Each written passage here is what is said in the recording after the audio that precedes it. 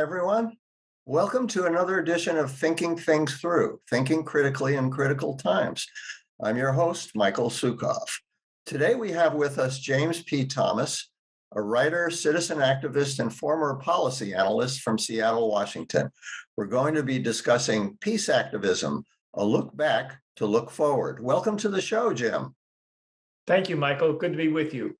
Same here. Now, in 1982 and 83, you participated in a 7,000 mile peace pilgrimage from Seattle, Washington to Bethlehem, Palestine.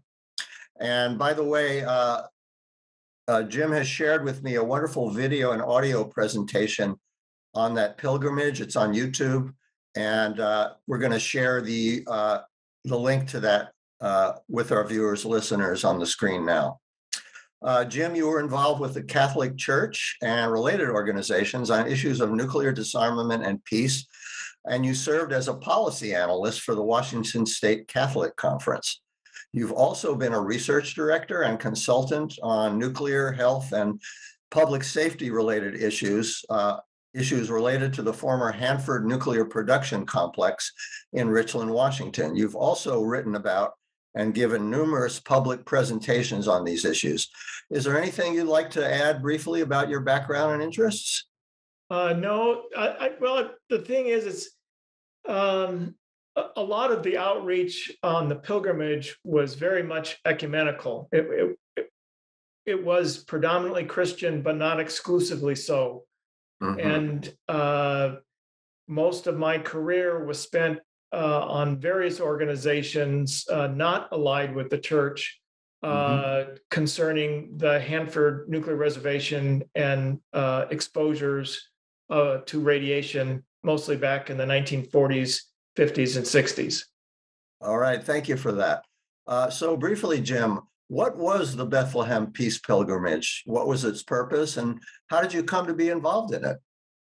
Well, the pilgrimage was uh, a walk and a prayer for peace and nuclear disarmament. Mhm. Uh, in 1982, the threat of nuclear war was very, very imminent. Um, you had uh, both the Soviet Union and the United States uh, dramatically increasing their nuclear stockpiles.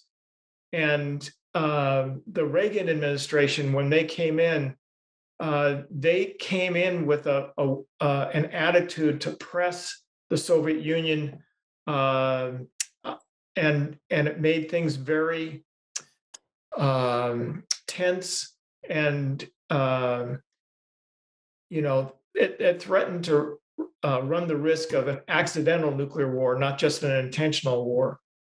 Right. And Um, and so, you know, we just decided that we had to do something.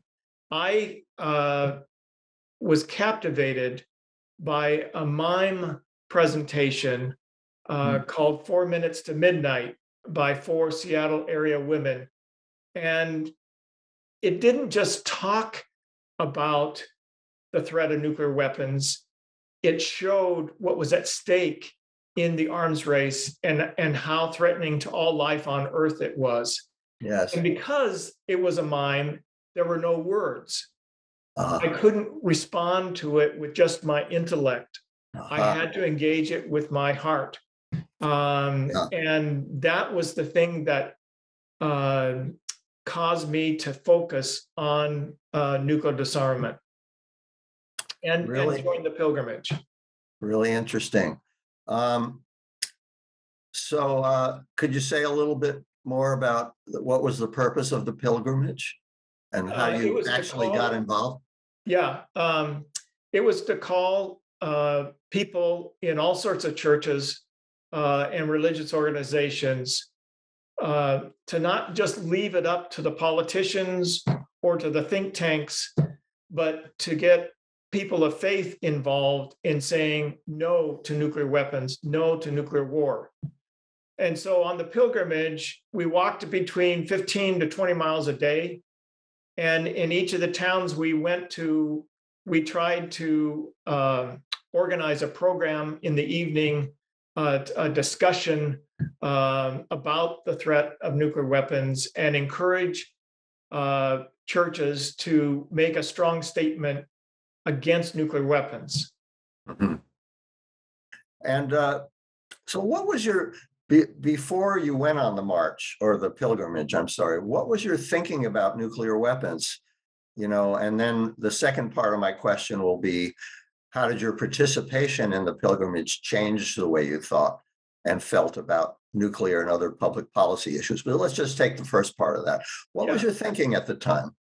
Well, um, before I watched that mime of called Four Minutes to Midnight, I had considered uh, the problem of nuclear weapons similar to other kinds of problems like world hunger um, or environmental destruction. Um, but after I saw that mime, it was nuclear weapons became my issue, uh, my focus on it. The on the pilgrimage, our eldest member, we ranged in age from 20 to 67. Yes. And our eldest member was was 67 years old when he started walking. Wow. Um, and his name was Father George Zabelka, a Yes. Catholic uh, diocesan priest from Flint, Michigan. And during World War II, George was the Catholic chaplain to the men who dropped the bombs on Hiroshima and Nagasaki Yeah. and he walked into in the ruins of Nagasaki just less than two months after the bomb was detonated. And it had because Nagasaki, the the kind of the dropping point of the bomb was the Catholic cathedral in Nagasaki. It really hit George hard. And it took him decades to come to terms with that and the pilgrimage was one way that he came to terms but to talk you know to hear him talk every day along the way of the human cost uh, of that destruction um, was you know very much uh, changed me in realizing that um, there was no other way except to get rid of nuclear weapons or else they would destroy us. Uh, Right. And so uh, it, it wasn't just a, a, a long commitment of 20 months walking from Seattle to Bethlehem, but it became a lifelong uh, mission of mine uh, to work toward abolishing nuclear weapons. Right. And so what I'm hearing is it's not only the fact of your seeing the four minutes to midnight mime presentation, but the actual experience of being on that pilgrimage for 20 months transformed the way you felt and thought about these issues. And, and also, you know, it was it wasn't just George or the other pilgrims that uh, I walked with, but it was also the people that we met every day, and Yeah. seeing how concerned they were about the threat of nuclear weapons and how they wanted disarmament and to live in peace. Right. The Right. Being, without being politicized, wants to live in peace. That's Yeah. that's what one of the things you know one of our core values as human beings is is to live in security and peace and uh, our original thinking was that these weapons would would protect us but as we've acquired thousands of them uh, over the years where we've uh, weathered by sheer luck uh, Yes. a number of close calls of accidents of nuclear weapons and Absolutely. and false warnings that almost led to war um, we have now realized that they provide more insecurity than uh, peace Right. And as we move along, uh, especially to the next segment of, of this show, uh, I really uh, want to keep in mind uh, what has changed from that time until now. And also, along with that, how your thinking has continued to evolve and change. And I also want to make the point that, uh, as you know, this show is called Thinking Things Through, Thinking Critically in Critical Times. And one of the things about thinking critically, in, in my humble opinion, is we cannot separate facts about the world from the values we hold regarding what's going on in the world. And that's not something I've really thema, we've really thematized on this show so far, but uh, what you're sharing is a, a perfect way to, uh, as an entry point to that discussion if we, if we get to it. Okay, so now, uh, well, I have one just kind of uh, in- funny question maybe. Uh, How did you walk from North America to the continent? How did you transport yourselves? Well, we, we had given uh, some thought to uh, walking across uh, the water, um, but we couldn't figure out uh, where to pitch our tents at night. Yeah, you didn't know if, if the Lord would cooperate. but no, we, we, we, flew from uh, from New York over uh, to Ireland uh, and started walking from Ireland uh, on St. Patrick's Day of 1983. Right, Um, but we also walked through Northern Ireland, uh, which was at that Ah. time really in the grips still of the Troubles. right. And Uh, could you just say briefly what the troubles were for those of our listeners it who don't have no the- idea? the uh, sectarian conflict uh, and violence, uh, hatred uh, between Catholics and Protestants. Um, that's it in a nutshell. It, it's actually, uh, you know, what we understood about it before going in there, but uh, being in there for a week and and staying with both Catholic and Protestant families uh, we could see that the situation is much more complex. Right, Um, and fortunately, uh, with the late 90s uh, Good Friday Accord, um, there has been, uh, you know, a significant reduction in violence um, and and some healing. Uh, although, you know, uh, the Brexit uh, uh, reality is that there are still tensions uh, between the Catholic and the Protestant communities uh, that uh, need to be rectified and, and addressed. and Brexit, uh, just briefly refers to, uh, uh, the. The um, UK leaving the European Union. Right, which is, uh, largely an economic, but also a political and, And, and, and it's complicated because Yeah. um, it, to some extent, legally split the island from, from a trade standpoint. right, And- and right. there's- Yeah. Okay, so I'd like to move along now. Uh, uh, So I want to ask you uh, about the peace and uh, anti-nuclear protests and movements of the early 80s. What do you think those movements, as well as your involvement with them at that time and even since, have to teach us about our current world situation? And I'm thinking most predominantly of the current Russian invasion of and war against Ukraine, and also you know, the dangers of the use of nuclear weapons are back in the headlines as if nothing's changed. Well, to, to some extent, nothing has changed. Uh, instead of having tens of thousands of nuclear weapons uh, between the uh, US and Russia, uh, we have thousands of nuclear weapons uh, between the US and Russia. Um, and, and certainly the, the recent uh, tension caused by the Russian invasion of Ukraine is uh, very concerning, but it's a good reminder um, that we have not solved the problem of nuclear weapons, that there's still a threat of nuclear war. Uh, and we have to find the resolve uh, to make the tough choices uh, to go from the stockpiles of weapons we have now down to zero.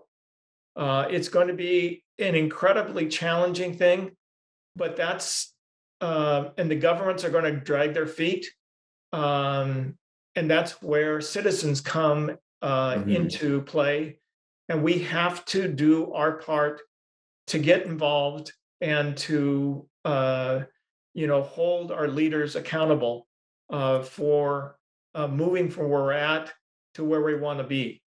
Um, and when I got back from from Bethlehem uh, in 1984, um, I was sobered by the realization that there were more nuclear weapons uh, than when we had started uh, walking to Bethlehem.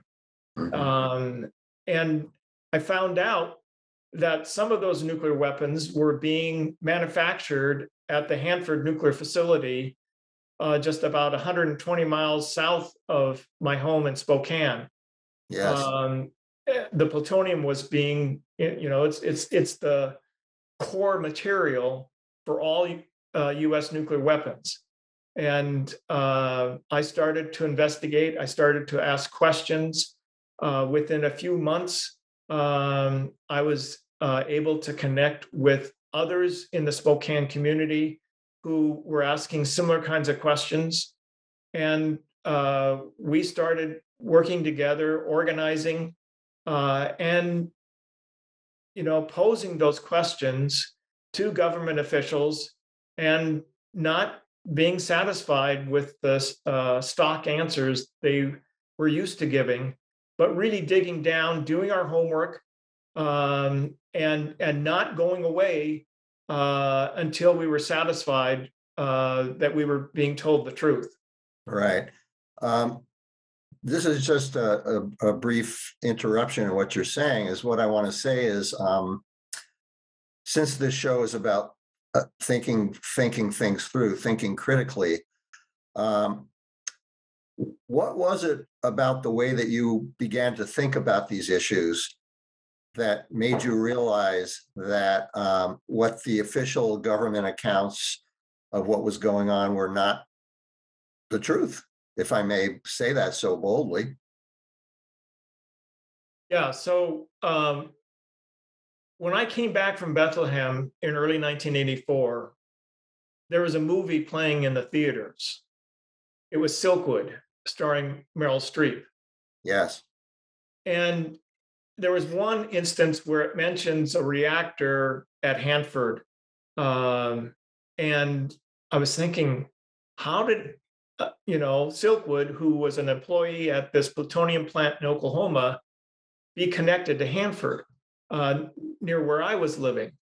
Mhm. And so I went to the library uh, and got a couple of books out about Silkwood. Um, and the Silkwood case is very illuminating because what she found and why she was killed was because she was blowing the whistle.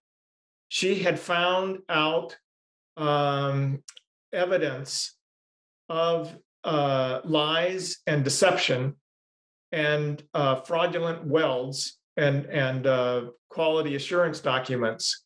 Um, and she was going to the New York Times with that story, and that's why she was killed to to silence her. and who killed her? Well, We nobody know. knows. Ah, Um, and and the there there are suspects, including the CIA, um, who had her and and the National Security Agency had her under surveillance. Um, the FBI had a wiretap on her. Um, so um, it gave me an education mhm. into um, cover up in the nuclear field.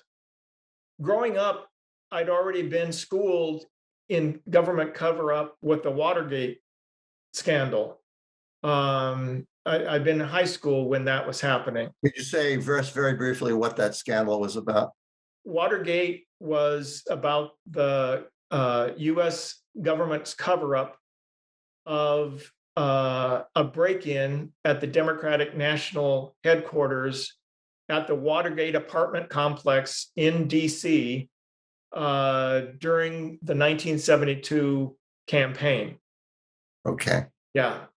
But then because of the cover up uh, became so extensive, uh, it carried on through the rest of 72, 73, and into 74 before forcing uh, the resignation of President Nixon uh, just days before he would have been impeached. I mean, uh, or found guilty of impeachment. Okay, and then getting back to how that's relevant now and what you're, what we're talking about? Yes.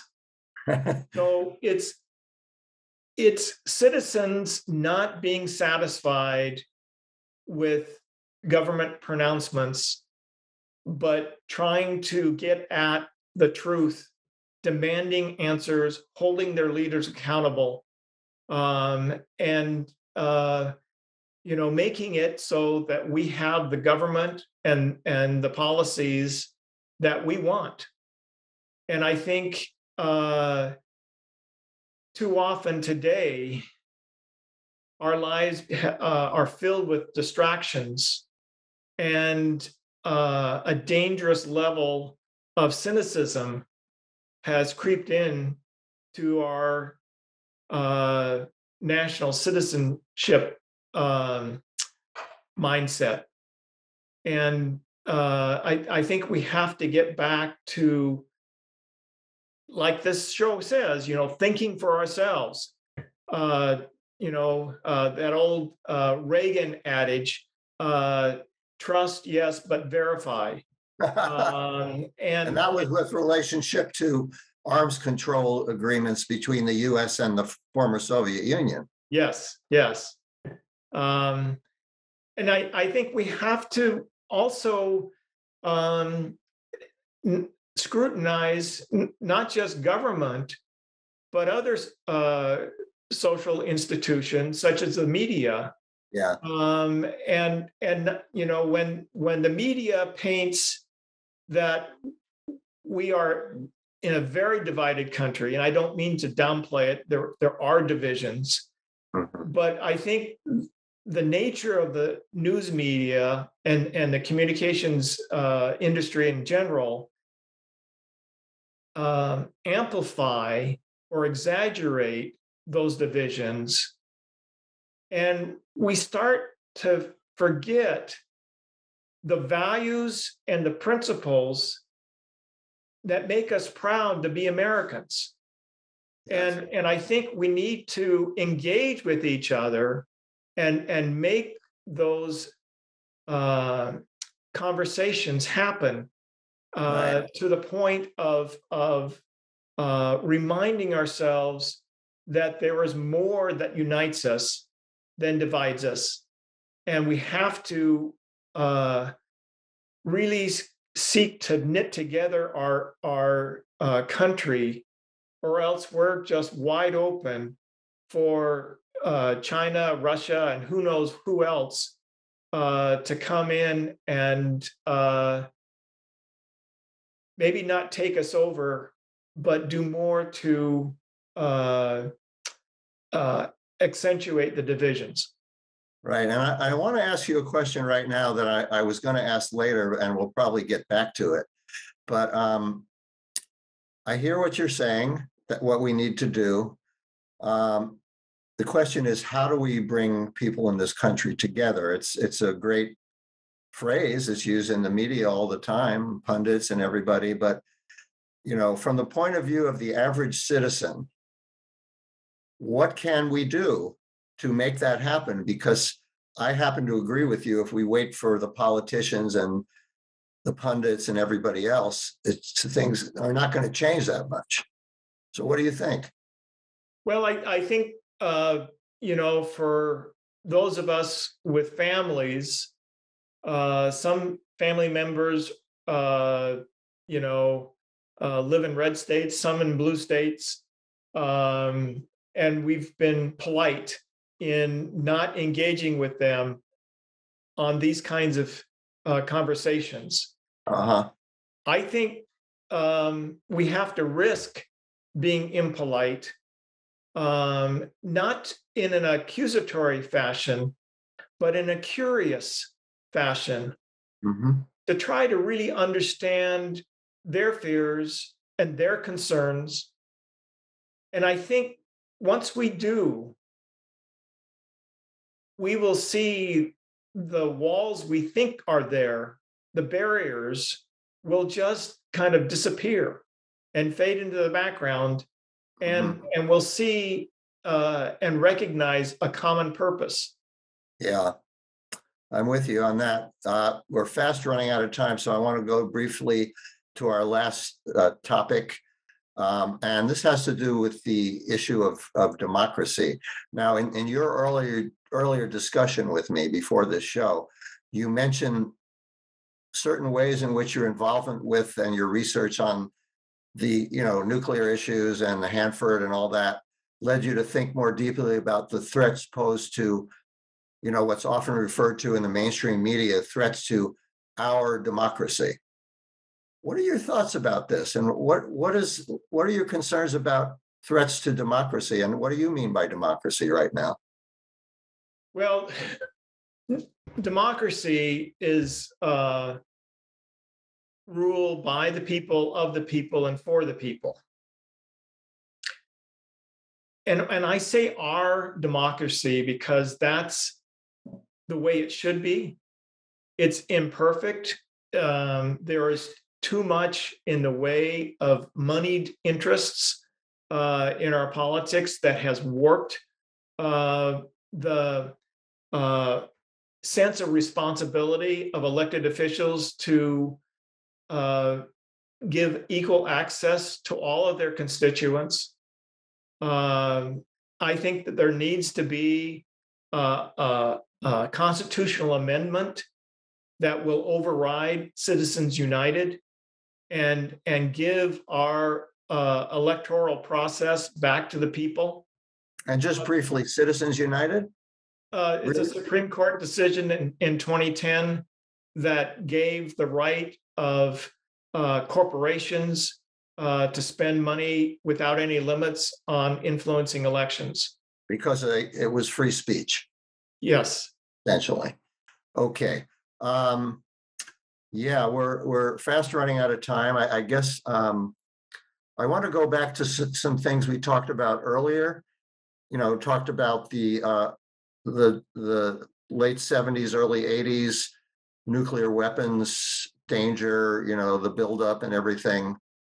Now, a lot a lot of water under the bridge since then. There's no longer a Soviet Union. Uh, it it dissipated in 1991.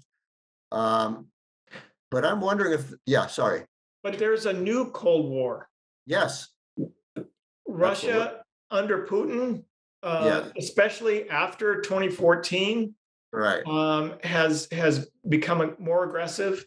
And now, within the last year, China is building up its nuclear arsenals right, uh, and becoming much more aggressive, uh, especially with regard to its claims on on Taiwan. This is all right, very destabilizing. And, Right. and we need to become as as citizen more active uh, and and knowledgeable.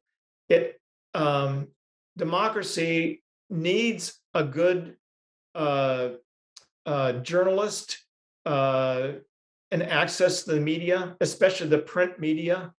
yeah, Uh, we need to have an informed citizenry, and that requires us to do our homework uh, so we know what's happening in the world, um, as well as engaging with other people and and and insisting on uh, resolving conflicts, resolving uh, injustices, um, so that we all can live uh, better and and in greater freedom. and, you know, the, uh, a problem I see, which I don't think you'd disagree with. Everything's so complicated, you know, we're facing imminent climate catastrophe. We've got a situation in Eastern Europe and Ukraine that could blow up almost literally at any time. People are just coming out of a pandemic. How do we, how do we give hope to people? Not only that they can make a difference on these issues, I think, and I'd like to know your closing thoughts, the fact that all these issues in some way or another are connected with one another. What are your final thoughts on that? Well, they are. Um, they are very much connected. Um, you, you- know, with us spending a, a trillion and a half dollars in the next 30 years on nuclear weapons, that's money that can't be used for addressing climate change. That's Absolutely. money that can't be used on making education more effective. So they're all connected Absolutely. what we have to do um, is is choose hope. Hope isn't something out there. Uh, hope has to be in here. it's it's a choice that we have to make. Um, and things have looked black and bleak before, but Yes.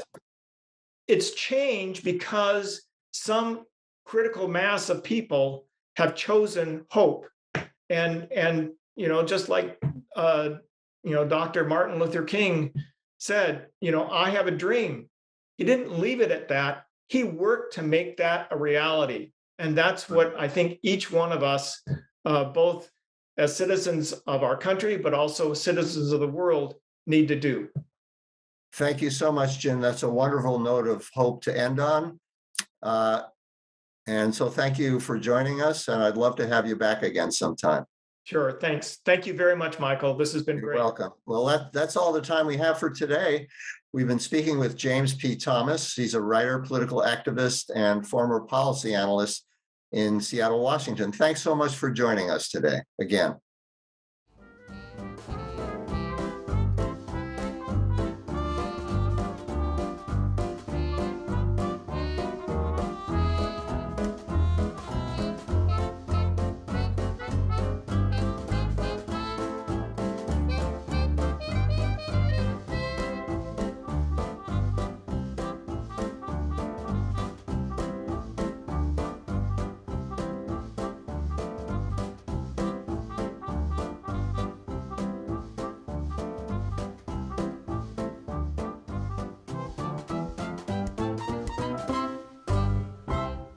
Thank you so much for watching Think Tech Hawaii. If you like what we do, please like us and click the subscribe button on YouTube and the follow button on Vimeo. You can also follow us on Facebook, Instagram, Twitter, and LinkedIn, and donate to us at thinktechhawaii.com. Mahalo.